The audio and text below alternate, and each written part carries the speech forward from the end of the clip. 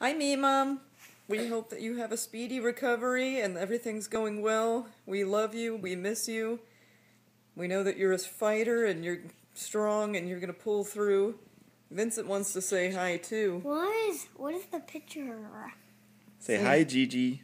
Say, I love you. I love you.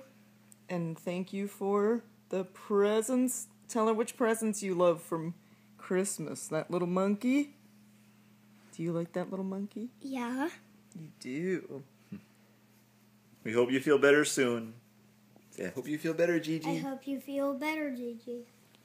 Love you.